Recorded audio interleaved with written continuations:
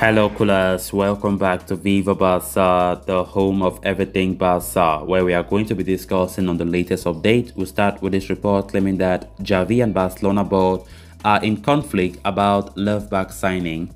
Secondly, we are going to be talking about Frenkie de Jong as Juventus are reportedly trying to pursue an impossible dream for Frenkie de Jong and a swap deal have been proposed. We are going to be looking at that as well. Then lastly, we are going to be talking about Memphis Depay as the Barcelona striker could end up staying at Barca if the club cannot sign Robert Lewandowski. We are also going to be looking at that. So guys, as we get right into it, please do a sure to subscribe. If you haven't, give the video a like and make sure to watch the video right up to the very end. Barca! Barca! Barca! Ahead of the new season, Barcelona have several positions to strengthen in the squad in the summer transfer window. One area where reinforcements are necessary is the left back slot, where Jordi Alba has no viable backup.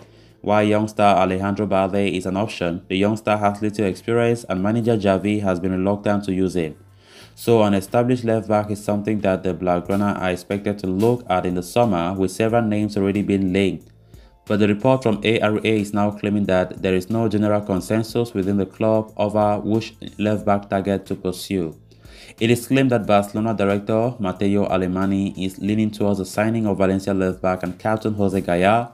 The 26-year-old is one of the most well-established left backs in Spain and has a wealth of experience with his best years still in front of him.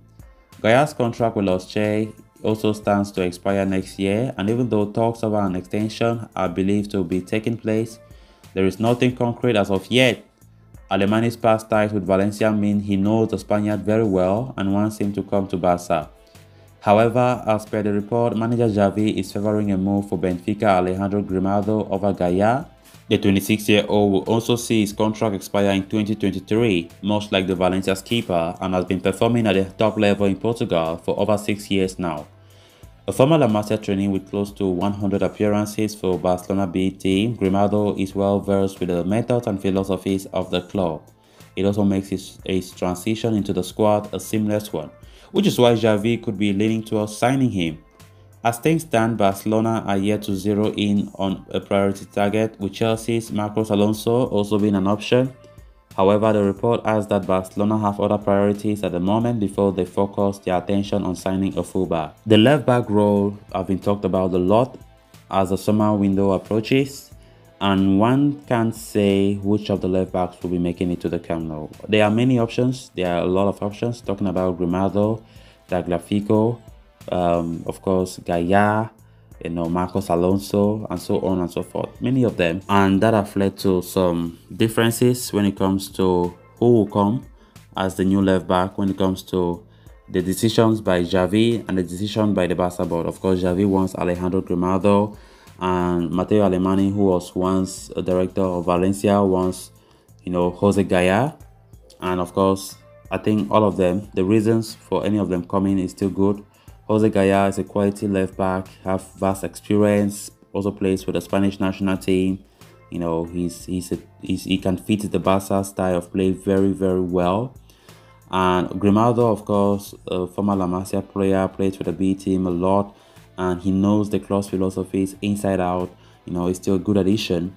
So who will be there as the new left back, as a new backup for Jordi Alba, it all remains to be seen. Then on to the next story of discussion, Frenkie de Jong has become a subject of transfer speculation in the market in recent weeks, amid discontent with Xavi over his role in the first team. Many expect the midfielder to consider an exit from Camp Nou in the summer. Barcelona have deemed the player untransferable, but recent reports suggest they will have to averse to a sell if any club comes up with an extremely lucrative offer. Manchester United have been in contention to sign the Dutchman, with the newly appointed Erik ten Hag eyeing a potential reunion at Old Trafford in the, up, in the upcoming season. However, according to Diario Sport, Juventus are another club involved in the race to sign de Jong. Although signing the FC Barcelona sensation is more of a dream than a realistic prospect for them, It is something that the Bianconeri are considering. The Italian giants are aware of their precarious financial state, which could hinder the prospect of signing de Jong, but they are thinking of coming up with several market solutions, including a potential player plus cash deal. Juventus are hoping to reach a similar agreement they did with a swap deal involving Artur Melo and Miralem Pjanic. Barcelona, though, have no interest in such deals. They are holding out for a truly lucrative offer for the Dutchman, whose exorbitant wages at Camp Nou should also prove to be a problem for Juventus. Juventus are coming on the back of a January transfer window that saw them splash 70 million euros on Dusan Vlahovic.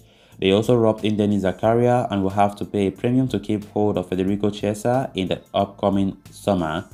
With that in mind, Juventus are likely out in the race to sign Frenkie de Jong, leaving Manchester United as the only club with a real possibility of prizing the Dutch international away from Camp Nou this summer. Frenkie de Jong has been talked about a lot recently when it comes to his future at the club, of course, since Ten Hag was appointed to be the new manager of Manchester United from next season onwards. Of course, the rumor mill started bringing all sorts of talk about him linked to United, a reunion with uh, Erik Ten Hag, and now it's even more funny enough to see um, Juventus showing interest, which this report claims is just a dream which will never happen because if, if, if de Jong wants to go to any club, it will be Manchester United. So, by the way, I wish de Jong stays at Barca for a very long time, and I hope all these rumors just come short because de Jong still has great talent to bring this club to a greater height of course, even though I've not achieved a lot since de Jong came, he just came at a very worrisome and bad time for FC Barcelona when things are not moving well. We hope that he stays for a long time, and of course, the fact that United will not qualify for the Champions League will also play a very hindering role in de Jong's decision if he wants to join with them, um, if he wants to go to United and, and reunite with his former boss there. We hope that just the fact that he will play Champions League with Barcelona next season can make him to stay. Hopefully he stays. Then on to the final story of discussion.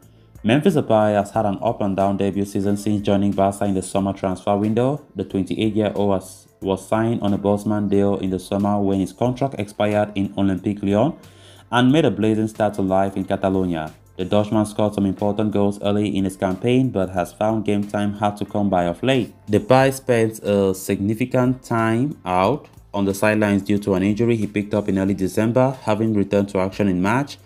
The Netherlands international has found himself behind Ferran Torres, Dembele and Aubameyang in the pecking order. As a result, his game time has taken a hit, with Ansu Fati also now returning from injury and Barcelona planning to sign Lewandowski in the summer. Depay's future at Camp Nou is far from certain with former club Manchester United interested in signing him. However, a new report from Diario AS is now claiming that the 28-year-old could end up staying at Camp Nou beyond the current season if Barca's transfer plans do not pan out as expected. As iterated earlier, Barcelona are interested in signing Lewandowski, but the deal is far from straightforward as Bayern have no intention of selling him this summer and are prepared to lose him for nothing in 2023. If the Blaugrana come up short in their pursuit of the Poland international, it could compel them to keep hold of Depay beyond the current season. The report states that the Barcelona coaches um, have been left impressed by the Netherlands international's performances while the player himself intends to continue at Barca. With Xavi planning to use Ansu Fati as a number 9, Barca would need an additional forward to compete with Ferran Torres in the left flank. Retaining Depay in that regard makes sense for Barca. But if the club signed Lewandowski or a different top quality striker, Fati would likely continue on the left flank, which could see Depay leave. So as things stand, it remains. It seems like the 28-year-old's future will hinge on Barcelona's pursuit of a new striker. So culers, with that we have come to an end of this episode. Thanks a lot for watching. Hope you did enjoy the video and also hope you did subscribe if you haven't please endeavor to do so so you always stay in touch with the latest on FC Barcelona here on Viva Barca. Until next time, bye bye.